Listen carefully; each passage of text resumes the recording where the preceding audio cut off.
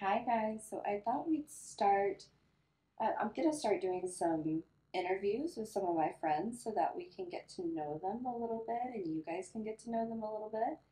And so we're gonna start with my bestie, um, Fitwife Jewels, and we're gonna start by asking you how you and your husband started in the lifestyle.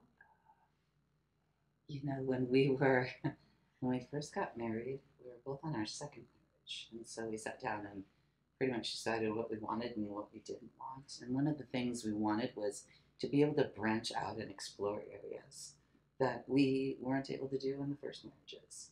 And so we took that and meandered through and tried different things, and some things were fantastic, and other things were complete catastrophe.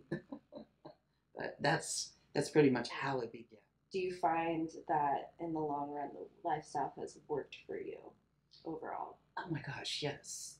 How many people, how many couples we've met over the years? I mean, that's the thing. I, I, I think like mainstream folks or, or the average folks think that, oh, that's something this group of people do. Mm-hmm. There are so many of the mainstream people who do do this. And so you get to hear how they incorporate this in their lives, how they keep the balance within their lives. Mhm. You know, a, a lot of people are very successful and you know have these amazing lives, but then they they go they they go into this other area of their relationship, and so you get to hear their stories Yeah. and how they did it.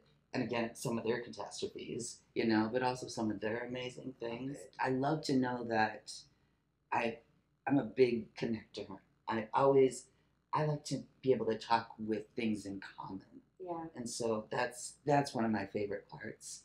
That's Besides the yummy sex, of course, but I do like the connecting part. okay. Well, I I already knew that about her because she truly is one of my best friends. Uh, so rumor has it amongst our fan base that you are the queen of spades. Do you think that's true?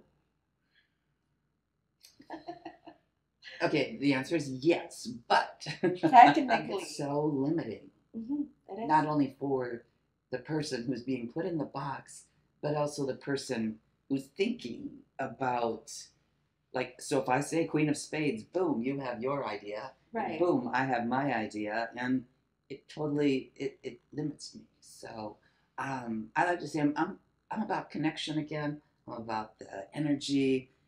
That's what it is. This could be a, a beautiful black man standing in front of me, but if he's got terrible energy, I want nothing to do with that, right?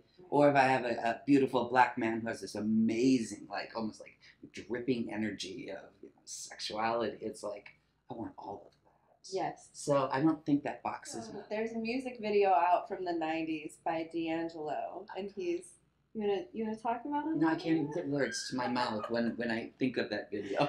So, and he's he's naked. He's a very fit, beautiful chocolate chocolate man, and he's naked in a darkened room with a spotlight on him, just singing his heart out. And the the song is gorgeous. His voice is gorgeous, but then the package is gorgeous. He has Let's go sweat there. everywhere. Oil all over this body, and then he's sweating through the oil, and then he's like moving so the muscles are contracting. Contracting. Holy jeez! Yeah. I'm in the front seat of the car, just like having a little little moment.